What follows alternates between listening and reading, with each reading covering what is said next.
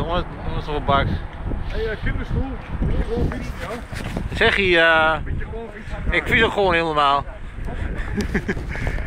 Waar is de rest dan? Verdomme, pok fietsen man van Lutberg gehaald toch. Potverdorie. Wie zijn idee was dit trouwens? Pok fietsen.